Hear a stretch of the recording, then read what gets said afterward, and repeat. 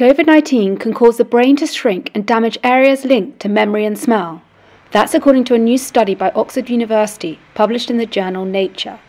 Researchers investigated the brain changes in 785 people aged 51 to 81 whose brains were scanned twice.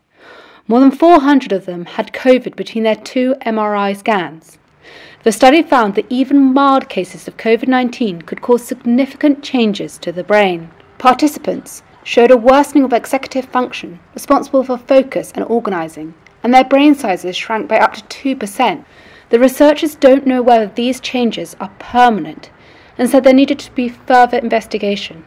The study was conducted when the Alpha variant was dominant in Britain and is unlikely to include anyone infected with the Delta variant.